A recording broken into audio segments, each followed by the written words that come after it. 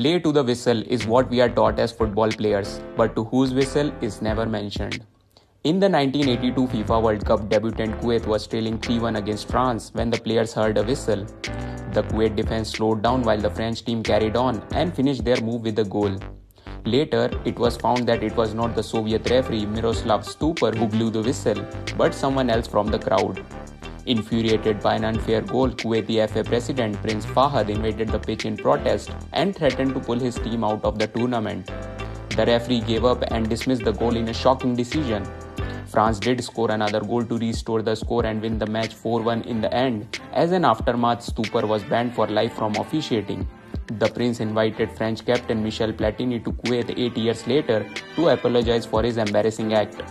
Nevertheless, Kuwait's inappropriate behavior still haunts them, as the Asian side has never returned to the World Cup final since their maiden appearance.